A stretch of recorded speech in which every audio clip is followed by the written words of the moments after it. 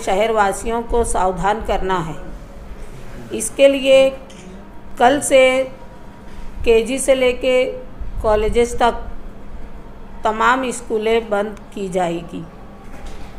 और ये स्कूलें बंद करने का मकसद भी यही है कि अगर बच्चे हमारे स्कूलों में क्लासेस में जाते हैं और अगर वो एक बच्चा पॉजिटिव होता है, वो वापस घर आता है तो पूरा परिवार उसमें पॉजिटिव हो जाता है।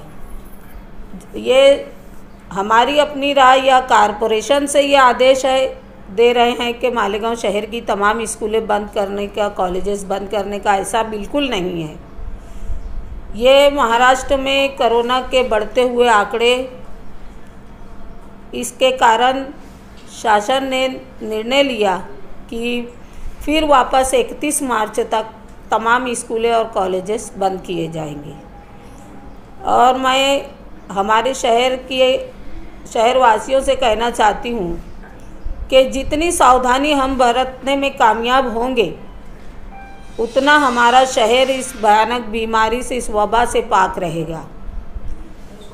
आजकल देखने में आ रहा है कि जितनी स्कूलें चालू है, कोचिंग क्लासेस चालू है तो ये इसमें बहुत ज़्यादा भीड़ भाड़ रह रही है। मास्क वगैरह का भी कोई इस्तेमाल नहीं कर रहा है। दूसरा ये कि जो फासला बनाने के लिए हमें कहा गया है कि डिस्टेंस से बैठे, बच्चों को डिस्टेंस से बैठाए और मास्क वगैरह लगाए, ये सब चीज़ें भी उतनी नज़र नहीं आ रही कि इसका कोई भी पालन कर रहा है, इसका कोई भी इस्तेमाल कर रहा है। ये भी करना चाहिए था। और हमको, हमारे शहर को बचाना है, इसके लिए मैं सभी लोगों से कहना चाहूँगी कि आवाम से ख़ास सभी उर्दू मराठी पत्रकार जितने भी हैं, सब ये इस चीज़ को आपके माध्यम से शहरवासियों को पहुंचाना बहुत ज़रूरी हो गया है कि इस बढ़ते हुए, इस बीमारी के जो बढ़ते हुए हालात पैदा हो रहे हैं। और देश भर में यही हालात है। और सुनने में आ रहा है कि ये जो करोना वायरस जब दोबारा से आ रहा है तो ज़्यादा स्ट्रांग है। तो अभी हमें एक जंग और लड़नी है, इसके लिए शहर की आवाम तैयार रहें और अभी अपने बच्चों को बिल्कुल भी स्कूल ना भेजें। बढ़ रहे हैं। जो हमारे पास रिपोर्ट है 40-50 पेशेंट हर रोज़ आते हैं, उसमें से कुछ पेशेंट क्रिटिकल भी रहते हैं। तो इस हिसाब से हमारे पास कुछ नागरिकों की तकरारें थी।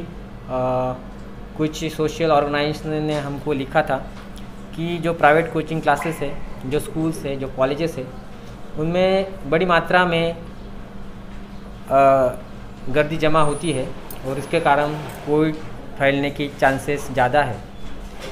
तो फिर आज हमने सुबह 11 बजे मालेगांव क्षेत्र के मतलब मालेगांव महापालिका क्षेत्र के सभी प्रशासकीय अधिकारी एडिशनल कलेक्टर एडिशनल एसपी यहाँ के उपविभागीय अधिकारी, यहाँ पे सभी डॉक्टर प्राइवेट डॉक्टर्स इनकी इकट्ठा मीटिंग ली और उस मीटिंग में हमने सबने मिलकर इस पे सोच विचार किया और सोच विचार के बाद हमने अभी ये निर्णय लिया है।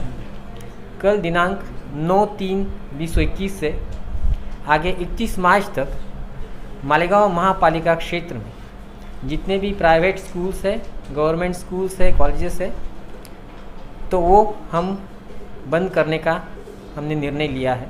एजुकेशन के लिए प्रवृत्त करने की भी बात वहाँ पे रखी है। आप ऑनलाइन आपके क्लासेस रखें, क्योंकि ये बहुत ज़रूरी है। फ़िलहाल परिस्थिति आशादायक नहीं है। और जो परिस्थिति एक साल पहले थी, वैसी ही परिस्थिति अभी वापस ना आए। इसके लिए ये प्रतिबंधात्मक उपाय हम सबने मिलकर